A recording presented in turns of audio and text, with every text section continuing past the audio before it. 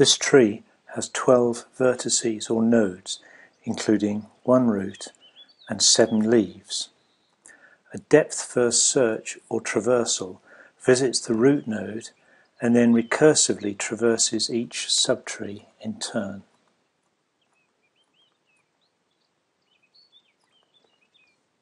APL's high-order operators take function operands as well as array arguments. Primitive operators include reduction or fold, times reduction, each or map, reverse each, a vector of vectors, and commute or switch, 1, 2, join switch, 3, 4. When defining an operator, double alpha and double omega refer to its left and right operands, and single alpha and omega to its argument arrays. For example, this operator applies its left operand function twice to its right argument array. Enclose applied twice to a character vector. We will define a two-operand operator for a depth-first tree search. Using an informal type notation to declare our intent, depth-first search will be an operator which takes an initial accumulator value as left argument and a tree as right argument and returns an accumulated value for the whole tree.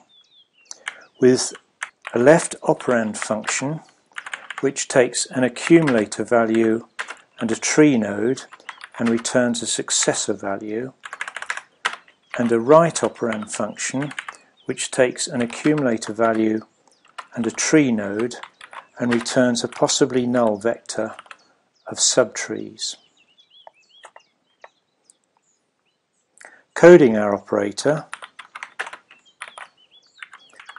left operand function double alpha visits node omega, returning a successor to the accumulator value. Enclosed to form a single array item, which is joined to the vector of subtrees returned by right operand function double omega. After visiting the node, the search is applied recursively. Del refers to the operator bound with its operand functions, with an accumulating reduction between the value for the node and each of its subtrees.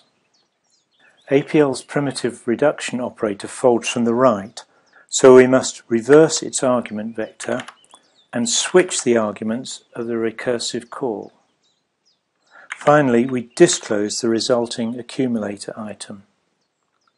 We don't need an explicit test for the base case of the recursion. If the vector of subtrees is empty, the reduction is applied to a single item, the value for a leaf node, which it just returns as result.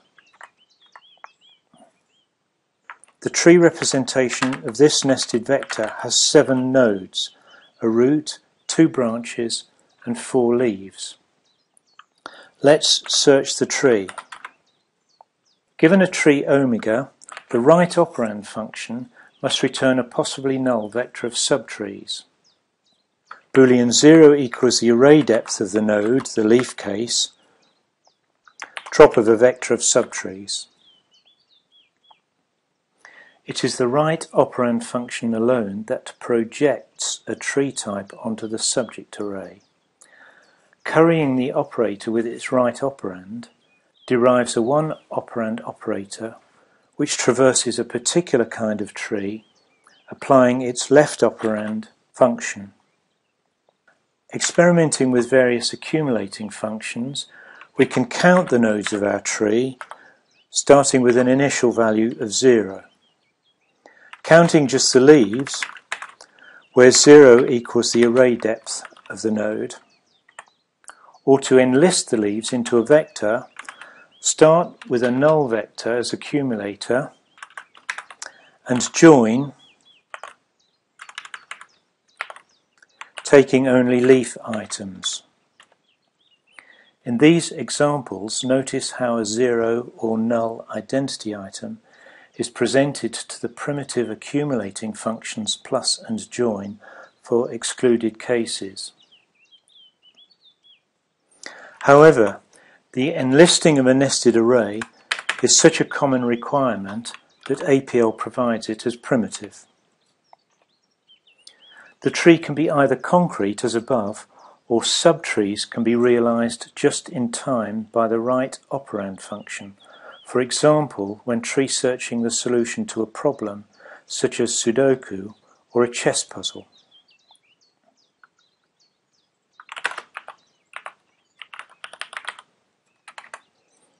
The challenge is to place eight queens on a chessboard in such a way that no piece is attacking any other. Let's experiment.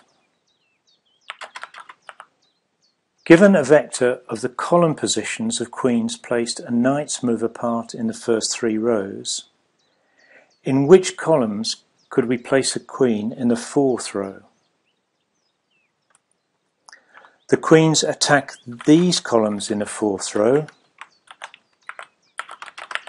along right diagonals.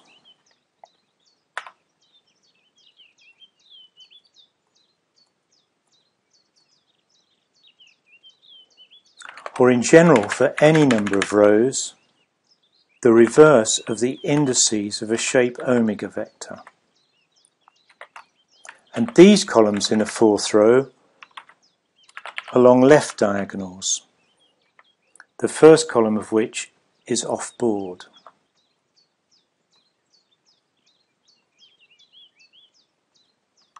And finally, these columns with straight ahead moves.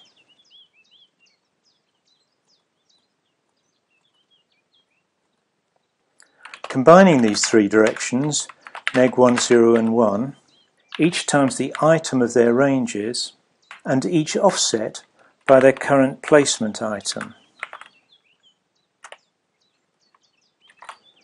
Enlisting this vector of vectors into a simple vector with these unique items. We could name this function attack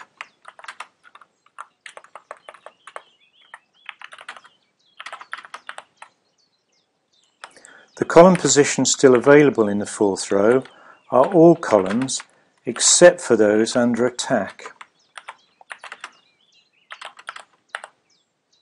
So a vector of the possible four row placements is the current placement item join each possibility. But this is exactly the function for the subtrees of a given placement we require for the right operand of DFS.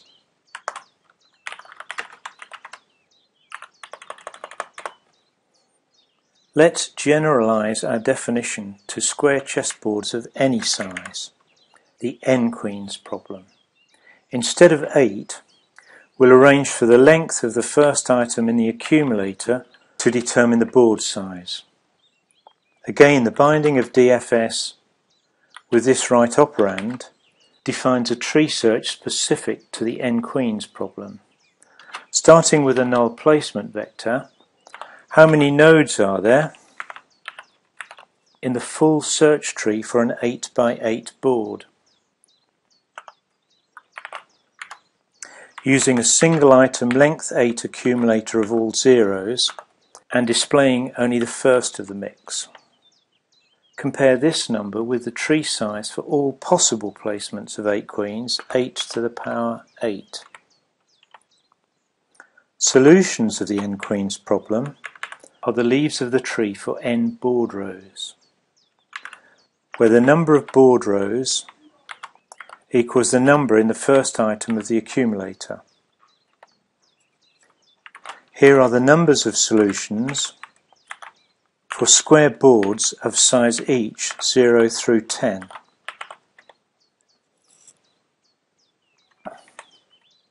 To collect the solutions,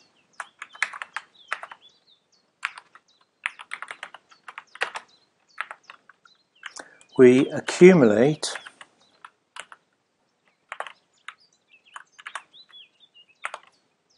taking just n row items.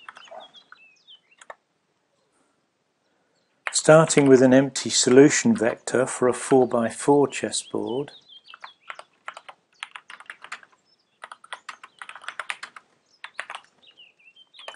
we see two solutions. These are more appealing if formatted as Boolean matrices. Vector outer product comparison with its indices.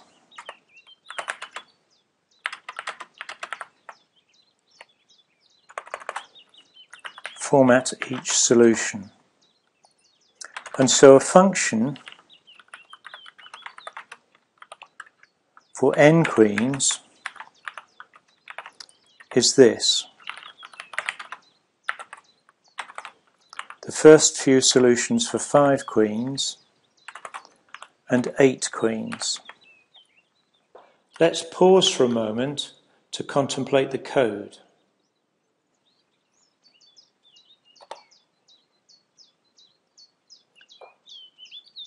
Before going to experiment at tryapl.org.